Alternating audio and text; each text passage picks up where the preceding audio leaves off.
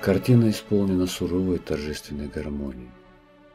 Благодаря тонко разработанной цветовой гамме от темного к светлому, а также устремленные вверх композиции и художник, и зритель картины словно совершают в ней торжественное восхождение от дороги, по которой медленно движется арба, к мягко поднимающемуся горному склону. Затем к стволам и вершинам сосен и вновь к вздымающимся все выше и выше горам, и, наконец, к небу, с его переменчивым освещением, и с той поэзией света, которую так просто и гениально художник смог передать на холсте. Картина, словно мощная симфония, завладевает чувствами и рождает богатые ассоциации.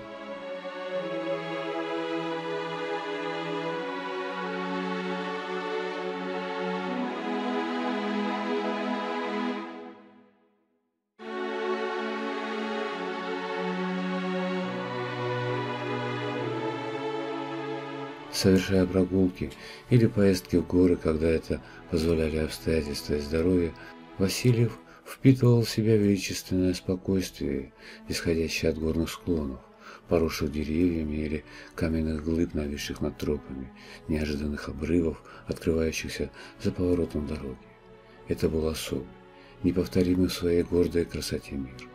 Во время таких, скорее всего, нечастых путешествий и родилась мысль о картине – вобравший в себя его понимание крымской природы.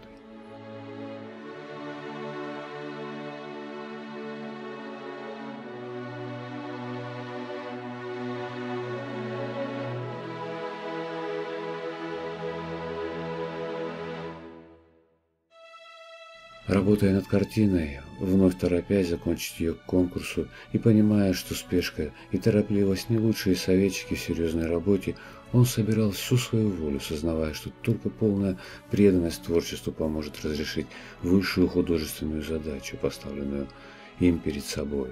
В эти дни он писал Григоровичу «Жизнь моя, Дмитрий Васильевич, незаурядная, текущая мелкой и спокойной струей по мелкому ложу.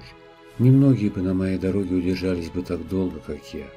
Немногие бы испугались той огромной цели, которую я решил или достигнуть, или умереть на этой дороге, ни на шаг не отступая в сторону.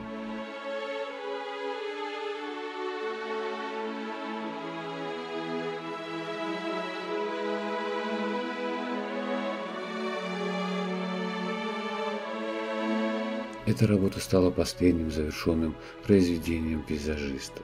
На конкурсе Общества поощрения художников картина вновь завоевала первую премию.